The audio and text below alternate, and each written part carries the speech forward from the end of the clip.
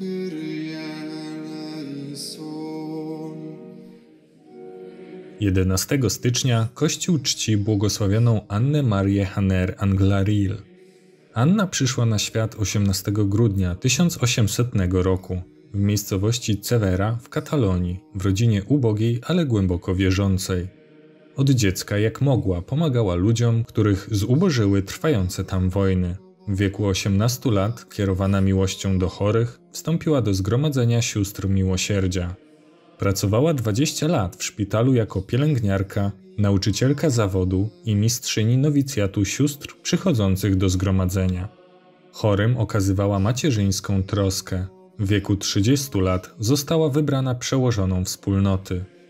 Mimo, że siostry bardzo ofiarnie pracowały w szpitalu, na skutek zmieniających się władz i nastrojów politycznych zostały one wydalone ze szpitala. Dzięki jej wierności powołaniu, zdolnościom organizacyjnym i odwadze, siostry przetrwały czas kilkuletniej tułaczki wojennej.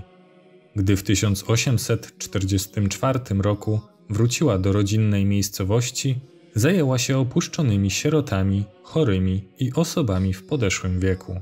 W 1859 roku, na prośbę biskupa diecezji Urień, założyła w Urień Instytut Sióstr Świętej Rodziny, który zajmował się wychowaniem, przede wszystkim religijnym, dzieci i młodzieży oraz opieką nad osobami chorymi i potrzebującymi, zwłaszcza starszymi.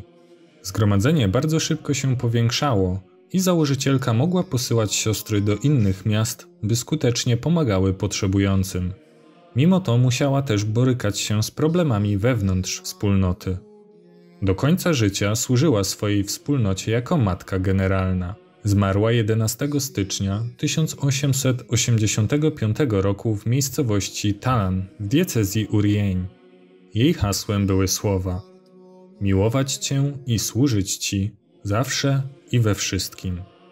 Szczególnie czciła krzyż. Błogosławiona opiekunka chorych z Katalonii mawiała z ufnością: Ty, Panie, obdarzysz mnie łaską bycia Twoją wierną oblubienicą, która Cię bardzo kocha i służy Ci w chorych i ułomnych.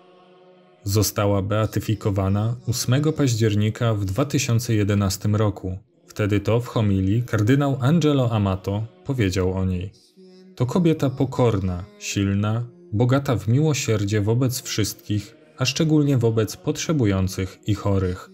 Kościół widzi w nowej błogosławionej żywy kompas, który jest skierowany na Boga i na bliźniego. Zacytował też słowa papieża Benedykta XVI, który potwierdził, że matka Hanner była kobietą silną, pokorną, pełną miłosierdzia dla wszystkich, zwłaszcza dla potrzebujących i chorych.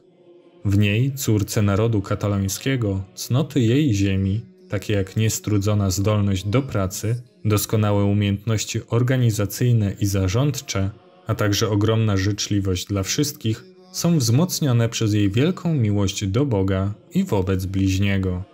W dalszej części homilii kardynał Amato potwierdził, że Instytut Sióstr Świętej Rodziny ma w niej przykład, aby iść z odwagą i kreatywnością naprzeciwko nowym formom ubóstwa, obecnym dzisiaj w naszej drogiej Europie.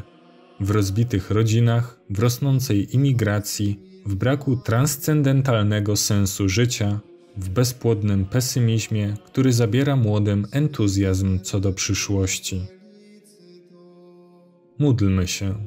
Panie nasz Boże, błogosławiona dziewica Anna Maria Hanner wiernie Ciebie miłowała.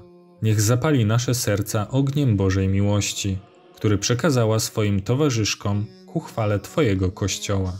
Przez naszego Pana, Jezusa Chrystusa, Twojego Syna, który z Tobą żyje i króluje w jedności Ducha Świętego, Bóg przez wszystkie wieki wieków. Amen.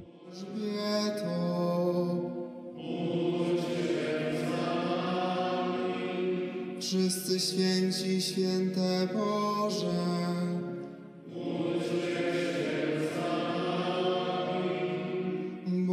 します。